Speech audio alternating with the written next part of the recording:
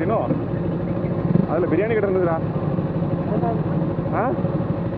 அடுத்த அடுத்த பிரியாணி கடை பார்ப்போம் போவோம் போவோம்